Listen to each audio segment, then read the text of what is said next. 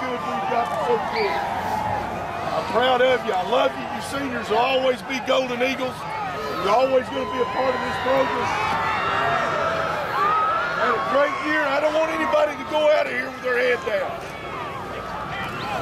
We can have very easily at 28 to nothing let, let it be at that. But you battle back. That's the character in you. That's the character.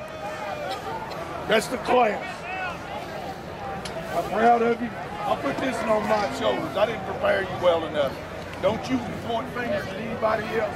I'll take the blame. You hear me? We win as a team, we lose as a team, but we do it with class, we do it with integrity. Great year. Great year. I think we gave these fans some excitement this year. Great year. Break it down in there. Break it down with pride.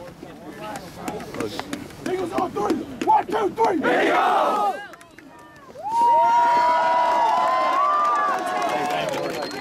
They put up a, we put up a fight there in the second half.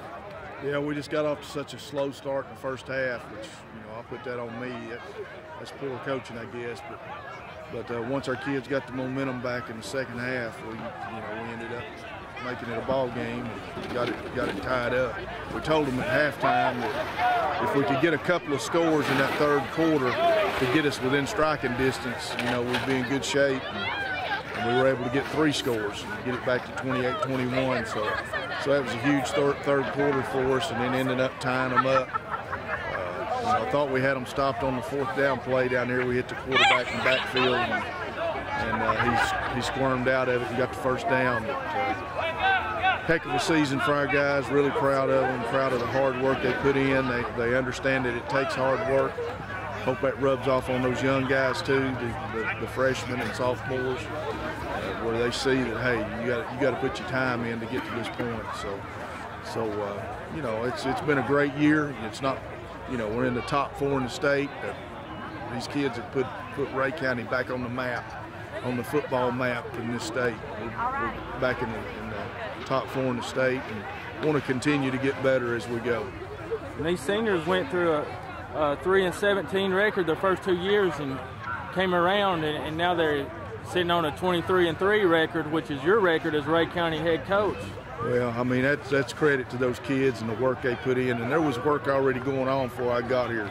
Coach Harmon did a great job with those guys in the weight room, and and uh, you know this program was not as far behind as, as people would have thought because of that, because of the weight room work. So. Uh, you know, it's it says a lot for those those seniors. You know, that's uh, that's a heck of a two years here with, with us, and uh, uh, really uh, hate to see those guys go, but hopefully they've left their legacy, they've left their work ethic to these other kids, and, and, hopefully it'll rub off. Coach, I want to thank you for a great season, and appreciate you for bringing football back to Rhea County. Thank you guys, and thanks for everything you do for high school football.